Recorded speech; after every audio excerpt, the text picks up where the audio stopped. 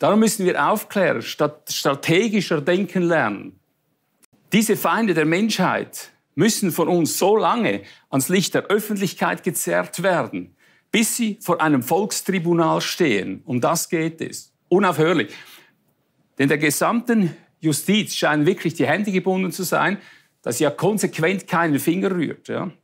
Also müssen wir bei jeder neuen Schandtat solcher Lauterbachs ja, zuerst einmal deren bereits begangenen Verbrechen gegen die Menschheit wieder ins Bewusstsein der Völker einhämmern, wieder aufkochen und deren Einkerkerung vornehmen. Die gehören ins Gefängnis, solche Leute. Ja?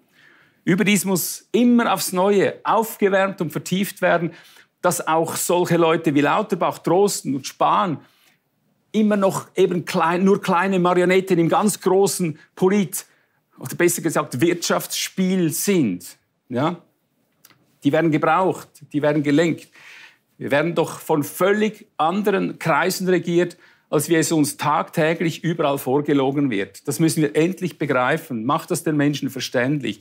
Unsere sogenannten, sogenannten gewählten Politiker sind leider eben nichts als machtlose Marionetten, die von widersinnigsten Gesetzen geknechtet, ja, vor allem die Polizei und so weiter, und von einer wirklich gottverdammten Geheimbundmafia manipuliert werden. Versteht ihr das?